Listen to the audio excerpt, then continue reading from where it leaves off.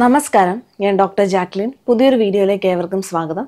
ഇന്നത്തെ വീഡിയോയിൽ നമ്മൾ ഉറക്കക്കുറവുള്ള കുട്ടികളുടെ മാതാപിതാക്കൾ ശ്രദ്ധിക്കാൻ വേണ്ടിയിട്ടുള്ള ചെറിയ കാര്യങ്ങളാണ് ഈ വീഡിയോയിൽ ഷെയർ ചെയ്യുന്നത്. തീർച്ചയായിട്ടും ഇത് കാണണം. കാരണം എന്താണെന്ന് വെച്ചാൽ എത്ര മണിക്കൂർ ഒരു കുട്ടി ഉറങ്ങണം എന്നുള്ളത് നമ്മൾ ഓൾറെഡി വീഡിയോ ചെയ്തിട്ടുണ്ട്. ആവറേജ് ആ ഒരു ഏജ് വെച്ചിട്ട്.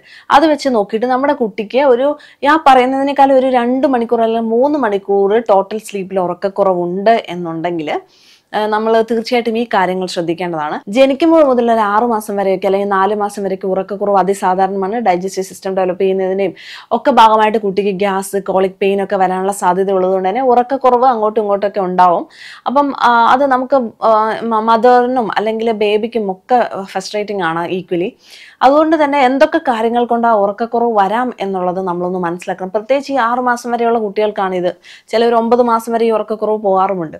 ആദ്യമേ തന്നെ കുട്ടികൾക്ക് വയ്യാഴിക എന്തെങ്കിലും ഒരു മെഡിക്കൽ കണ്ടീഷൻ ഉണ്ടെങ്കിൽ രണ്ടാമത്തെ എൻവയോൺമെന്റൽ ഫാക്ടേഴ്സ് ആണ്. അതായത് നമുക്ക് എന്തെങ്കിലും ഒരു കാലാവസ്ഥാപരമായ വ്യതിയാനം ഉണ്ടെങ്കിൽ മൂന്നാമത്തേതാണ് വിശപ്പാണ് അതുപോലെ അല്ലെങ്കിൽ വിശപ്പ് ദാഹം. അടുത്തതായിട്ട് ഓവർ സ്റ്റിമുലേറ്റ് ചെയ്താൽ അപ്പോൾ ഇത്രയുമാണ് മെയിൻ ഹെഡിങ്സ് വരുന്നത്. ആദ്യമേ തന്നെ നമുക്കറിയാം പനി ജലദോഷം നാസൽ മൂക്കടപ്പ് അതുപോലെ തന്നെ ആസ്മ ഇച്ചിങ്ങോ എക്സിമയൊക്കെ ഉള്ള പിള്ളേർക്കൊക്കെ ഉറങ്ങാൻ ഭയങ്കര പാട ഇച്ചിങ് ഒക്കെ ഉള്ളതുകൊണ്ട്. അപ്പം അങ്ങനെ എന്തെങ്കിലും കണ്ടീഷൻ കുട്ടിക്കുണ്ടെങ്കിൽ അതിനെ ട്രീറ്റ് ചെയ്യുക. അതൊന്ന് നേരെ ആകുമ്പോഴത്തേക്കും കുട്ടിയുടെ ഉറക്കം റെഡിയാവുന്നതാണ് എൻവയോൺമെന്റൽ ഫാക്ടേഴ്സിൽ ഭയങ്കരമായിട്ടുള്ള തണുപ്പ് കുട്ടിക്ക് അനുഭവപ്പെട്ടാൽ കറക്റ്റായിട്ട് കവർ ചെയ്തില്ലെങ്കിൽ കുട്ടീനെ. ഓവർ തണുപ്പാണെങ്കിലും നന്നായിട്ട് ഇപ്പം എന്താ അന്തരീക്ഷം ചൂടായിട്ടിരിക്കുമ്പോൾ നന്നായിട്ട് കവർ ചെയ്ത് വെച്ചാൽ കുട്ടിക്ക് ഓവർ ഒരു ചൂടായാലും ഒക്കെ കുട്ടി ഉറങ്ങാതെ ഇരിക്കുന്നു. അപ്പം തണുപ്പ് ചൂടൊക്കെ അതൊന്ന് സ്റ്റെബിലൈസ് ചെയ്ത് റെഗുലേറ്റ് ചെയ്ത് കൊടുക്കാൻ വേണ്ടിയിട്ടും കുട്ടിയെ ശ്രദ്ധിക്കുക എന്നുള്ളതാണ് അങ്ങനെയാകുമ്പോൾ ഉറക്കം ശരിയാവും. ഓവർ സ്റ്റിമുലേറ്റഡ് ആക്കാതിരിക്കുക. അതായത് കുട്ടിയുടെ ബെഡ് സ്ലീപ്പ് ടൈമിന് മുന്നേ ആയിട്ട് കുട്ടിയെ അധികമായിട്ട് കളിപ്പിക്കുകയോ ചിരിപ്പിക്കുകയോ കരയിപ്പിക്കുകയോ ചെയ്യാതിരിക്കുക. ഓവർ സ്റ്റിമുലേറ്റഡ് ആയി ആക്കി കഴിഞ്ഞിട്ടുണ്ടെങ്കിൽ കുട്ടിയുടെ ആ ഉറക്കം നഷ്ടപ്പെടാനുള്ള സാധ്യതയുണ്ട്. പിന്നെ അത് പിന്നെ കരച്ചിലേക്കോ ഇൽനെസ്സിലോട്ടിലൊക്കെ പോകാനുള്ള സാധ്യതയുണ്ട്.